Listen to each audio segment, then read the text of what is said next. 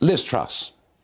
I mean, who would have believed that Liz Truss could become Prime Minister? But she did. And a couple of bright sparks. Harry Cole from The Sun and James Heale, who joins me now from The Spectator. And I heard quite early on they were doing a Truss biography. And the title they chose, absolutely brilliant. Out of the blue. I thought really good because it just works at every level. And I thought, James, welcome, by the way, to the programme. I thought, well, this is going to be an absolute winner. You know, you're on this, nobody else is. Um, 45 days and she was gone. How's the book doing? It's doing all right, thank is you. Is it really? Yeah, yeah, no. and timely as well because, um, you know, after a bit of time away from the spotlight. Um, you know, last night there was a meeting of this new group which uh, Liz is involved with. Well, that's right. So, so, so you know, I was thinking, well, 45 days she's gone. She mm. turned up at the cenotaph. She's been pretty quiet. Mm. She's, I mean, personally been through a pretty humiliating. And, and, and, you know, what do you think of her politics? Mm. It's been very tough for her. So just Tell us what happened last night. Sure. Um, so I think you're right, as you say, that you know after ten years in government, um, had not had a holiday when she wasn't a minister for ten years. There was mm. a sort of period out in the sun, yeah. and then yesterday Parliament's now back, and there was a, a launch, a quite low key launch of the Conservative Growth Group with uh, some of her key supporters. The growth Group. Exactly, um, because I think there's a bit of concern, which is that after Rishi Sunak take, took over, there's been less of an emphasis on economic growth and more about balancing the books. So this is a group of around 40 or so MPs who want to kind of keep that flame going and also try and get some policies which are going to stimulate the economy ahead of the next election. What you don't mean they believe in low taxes at a small state? Depends who you ask, I'd say, Nigel. I think that it's going to be very interesting to see how the group operates coming up to the budget in March. Who are the significant players in the group? In the group, uh, Ranil Jayawardena and Simon Clarke, who are both uh, cabinet ministers yep. under Truss. Yep. Um, and I think Liz herself hasn't got a formal position within the group, but it's part of a sort of wider series of initiatives. Um, Simon Clarke is also launching the Next Gen Tories, which is about how we can win over the under 40, how the party can win over under 40s, uh, things on childcare, planning, deregulation, etc., like that. Um, so it's part of a sort of wider moving picture. And of course, you then got Boris Johnson as well. And last week well, he was yeah, there. I, am going to come to him in a second, but just just just a sort of final thought on Truss, if mm. I may, on our own. So, is a think tank that emphasises growth. Is this, in a sense, her legacy? I wouldn't say it's a think tank, it's more a pressure group. Okay. And I think that this is because you've got a majority of 70 or so in Parliament, but of course, as you've seen, Rishi Sunak is willing to kind of back down on certain things. And you saw that in space yeah. of 48 hours, I think, uh, at the end of last year, when they had the U turn on planning targets and then the U turn on onshore wind, which uh, met due to an amendment which both Boris Johnson yeah. and Liz Truss signed. And I think that shows that if you get a group together, you can sort of, it's a, it's a party of interests and certain different factions are moving in certain ways. And I think the hope is you can get a kind of growth, a pro-growth faction, if you will, that that's going to kind of push Rishi Sunak and the government to doing more pro-growth policies. Now, obviously, the point of Rishi Sunak was to bring stability. Mm.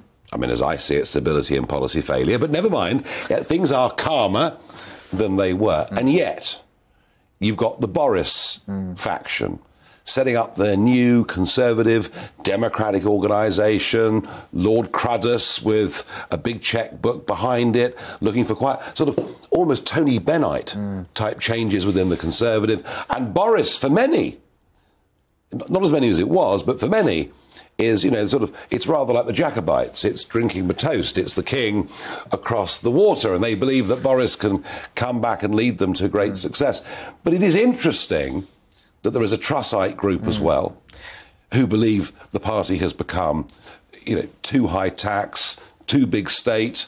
Um, and then you've got the Rishiites. Mm. So the point of Rishi was to unite the party.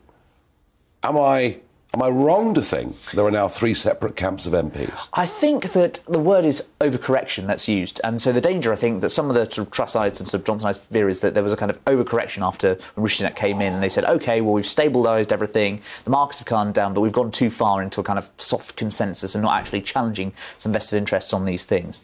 I think that what is clear is that the Boris Johnson faction is more personal. I think people like Nadine Dorries just want their man back, as it were. Regardless of anything. Yeah, basically that's it. Yeah. Um, whereas I think the Trussites is more about policy. And I think, in fairness, they're trying to say that you know stuff like the Conservative uh, Growth Group isn't about you know being anti-Sunak, etc. But of course, it then comes down to votes in Parliament, etc., like that. So one can well, read these things. We can one can read these well, things. Well, it may not be anti-Sunak, but it's probably anti-Jeremy Hunt. Well, that might. Well, we'll see that and coming up to the budget. You know, with those, I think already there's a report today in some of the press that there's going to be no tax cuts in that.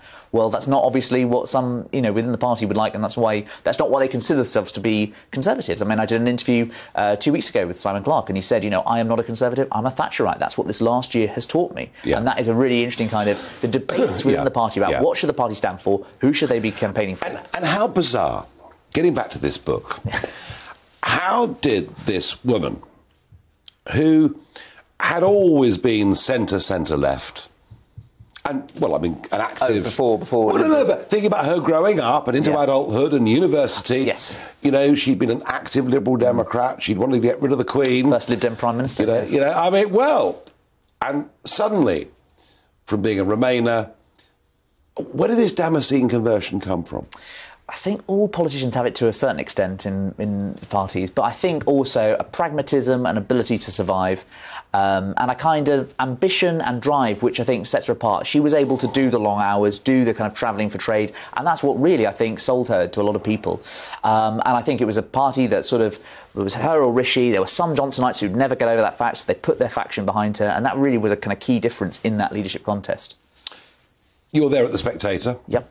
You know, a, a magazine that tries to move the boundaries of debate in terms of conservative thinking. And I know you, you know you, you're not the editor, but do the Spectator think the Tories have even half a chance at the next election? I think it's going to be difficult. Uh, the fundamentals, you look at interest rates going up, you look at how that's going to affect votes, you see, you know, 15, 20 point Labour leads in the polls. Um, I think the danger is that the mini budget might have been a bit of a Black Wednesday moment, you know, a bit where it crystallised in voters' move, uh, um, minds, the mood has changed, and they think that actually Labour could be more credible with these things. It'll be a tough road. There's some, if you speak to around Rishi Sunak, the number 10, who think there's a way to do it.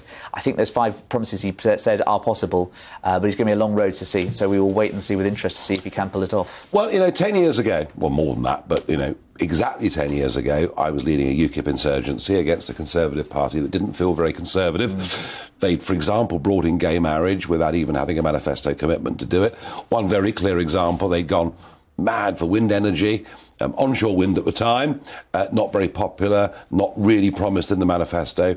And there was a UKIP insurgency that frightened the life out of the hmm. Conservatives and force Cameron into offering a referendum that he never he never ever wanted to do that, you know, for obvious reasons. Now, reform at the moment, and I'm I'm, I'm the honorary president. I'm not actively involved. There is another there is there is another insurgency building, hmm. isn't there? I think that it's if you get six to seven percent of the polls, which they're currently on, that is going to harm the Conservatives more than it is Labour, and that's going to be very interesting compared to say 2019, when of course the Brexit Party stood down.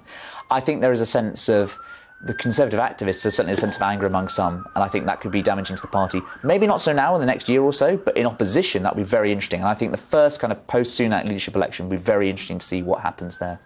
And likely, I guess, that the general election doesn't happen until we run towards the end of 2024. I think that's the assumption that most are operating on. Yes, I think it's very difficult to see.